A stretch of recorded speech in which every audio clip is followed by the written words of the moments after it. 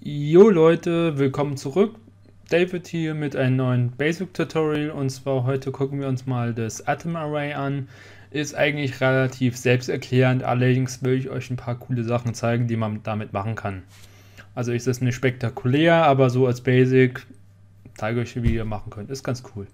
Und zwar zum einen machen wir uns einfach mal ähm, ja, ein Objekt, ist eigentlich egal. Nehmen wir hier so ein platonischer Körper, ist ganz cool.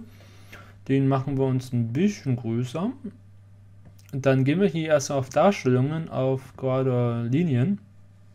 Das heißt, wir haben jetzt hier unsere Linien, die sehen wir halt ein bisschen. Wenn wir ranzoomen, sehen wir hier ein bisschen schwarz. So, das heißt, wenn wir uns unseren Atom Array nehmen, heißt hier geklickt halten, unseren Atom Array, das ist jetzt R20. Bei älteren Versionen sieht es, glaube ich, ein bisschen anders aus, aber im Endeffekt die ja, Menüführung ist gleich. Dann machen wir unseren Körper, tun wir hier rein und jetzt sehen wir quasi der Körper, also da, wo unsere Linien vorher waren, ist es jetzt als Gitter gesehen. Das ist zum einen ganz cool, könnt ihr echt, äh, ja, sage ich mal, ähm, ja, nette Objekte mitmachen.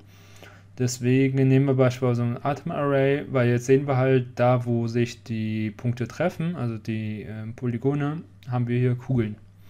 Deswegen, wir können jetzt unseren Radius ein bisschen vergrößern.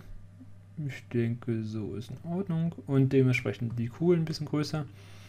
Und das sieht im Endeffekt zum Beispiel so aus wie auf dem Spielplatz. Kennt ihr ja diese Formen, wo man sich so draufklettern kann, die Kinder mit den großen Bällen da drum. Deswegen, weil das ist jetzt natürlich sehr sage ich mal, nicht rund, nicht so ganz smooth. Deswegen können wir bei Unterteilungen ein bisschen hoch machen. Dann haben wir das auch ein bisschen abgesmoost.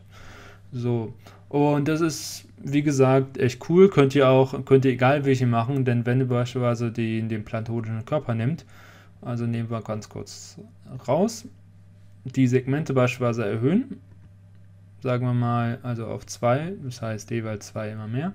Jetzt haben wir hier beispielsweise eine Linie, dann packen wir unseren Körper wieder rein.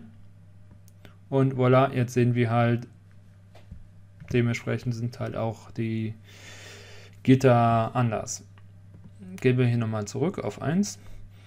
Und ihr könnt beispielsweise auch, wenn ihr jetzt Tiere animiert habt, ähm, ich sage euch mal vielleicht ein Bild, ähm, das blende ich kurz ein, könnt ihr damit erstellen. Das habe ich vor ein paar Jahren mal gemacht. Ist wie gesagt ziemlich cooles Drahtgitter. Könnt ihr eigentlich alle Formen nutzen, weil hat natürlich alle diese Polygone und je nachdem, wie die Polygone angeordnet sind, entstehen halt diese Gitter.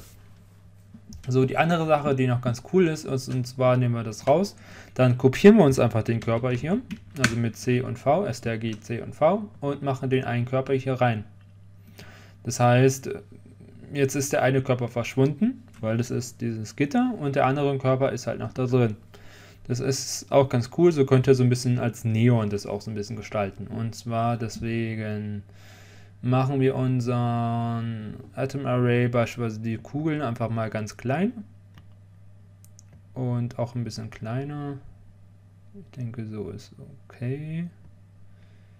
Dann den Radius ganz nicht. Ups, sorry. Zylinder.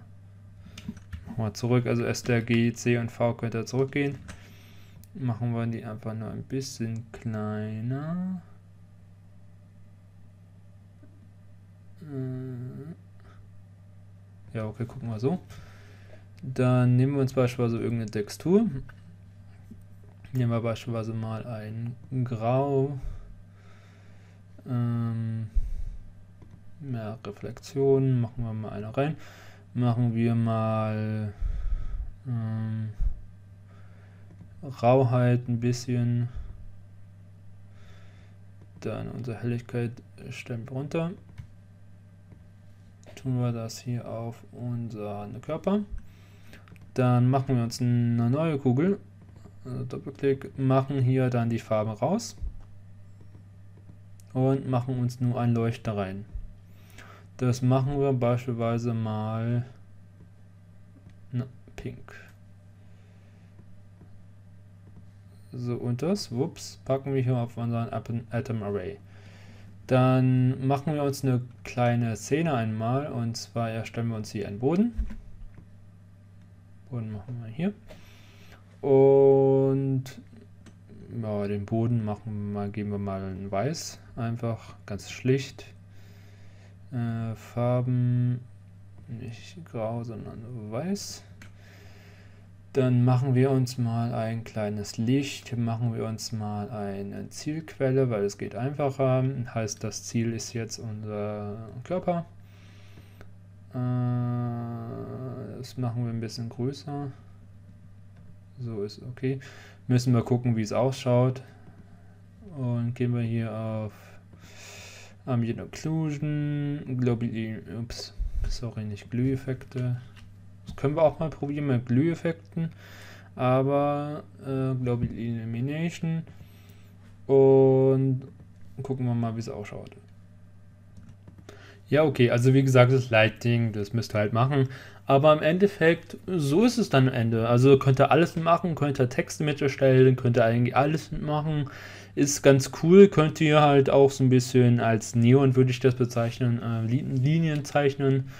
Und könnt ihr allerhand von Formen machen. Könnt ihr euch kreativ mit austoben. Ihr könnt es auch animieren. Kann ich gerne mal ein Tutorial machen. Könnt ihr es gerne mal in die Kommentare schreiben, dass ich mal zeige, wie man sowas animiert. Ist nämlich auch ganz cool. Ja, und ansonsten würde ich sagen, war es soweit. Ähm, wenn ihr Fragen habt, wie gesagt, ab damit in die Comments. Ansonsten würde ich mich freuen über einen Daumen nach oben. Ich hoffe, es hat euch geholfen, ein bisschen, ein oder andere. War jetzt nicht zu lang. Ähm, würde mich, wie gesagt, im Abo gerne freuen. Und ansonsten würde ich sagen, haut rein. Bis zum nächsten Mal. Ciao.